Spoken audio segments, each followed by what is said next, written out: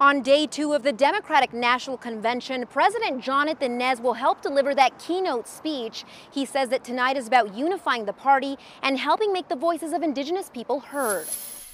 I am honored. I am excited. The Navajo Nation taking center stage at the 2020 Democratic National Convention. And I'm glad that we do have an opportunity this evening to represent not just the Navajo Nation and not just the tribes throughout the country, but for all of us throughout the United States of America and to embrace diversity. President Jonathan Nez sharing the stage with 16 other prominent Democratic leaders, hoping to unify the party and inspire people to get out and vote. We also said to the DNC leadership. You know, don't take tribes for granted. Most of the tribes throughout the country, yes, they vote Democrat, did mention to the DNC leadership that they need to reach out to tribal leaders and tribal communities. Nez is a chair member of the Arizona Democratic Party. He also endorsed Hillary Clinton in 2016, which is why he says endorsing Joe Biden is a no brainer. I was supportive of Joe Biden since he was the vice president. You know, I have a great relationship with the uh, vice president during the Obama Biden era. While Nez's time on this national platform is limited, he hopes this moment will magnify Indigenous voices, not just tonight, but in the future. You got Native American indigenous people that are still going to be here. Now is the time that we stand strong on our convictions and to do what's right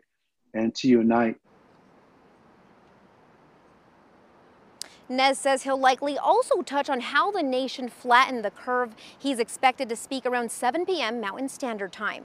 Reporting live in Albuquerque, Marissa Armas, KOAT Action 7 News. The Native American Caucus also held a meeting at the DNC. That group is an official organization and caucus, and President Nez was at that gathering.